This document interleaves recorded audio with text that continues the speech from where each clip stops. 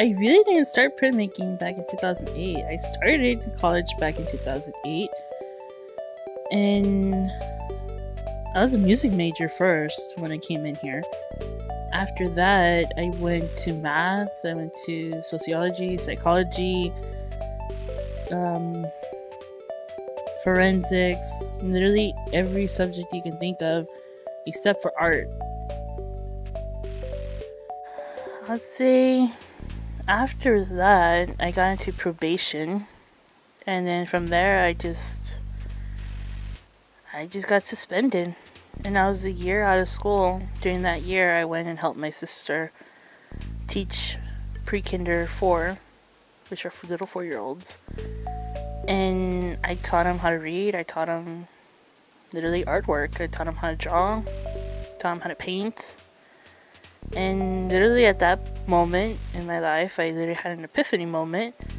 And I decided I came back and I got into arts as my major.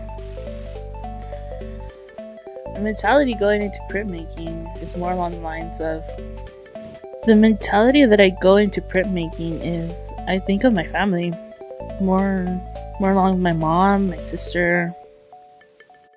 And when I do this whole printmaking process, I think of the colors that I want to put in there. I think of what my family would love to see, what describes myself as a person, and execute how it would like for the people.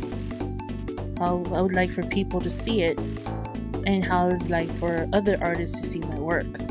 But that's the whole that's the whole experience to it, because I've had so many mistakes that I've done in my work, but it's always that one or two moments of work that makes it worthwhile, makes it going in there early in the morning, spending hours and hours trying to perfect it. Just trying to perfect that one artwork.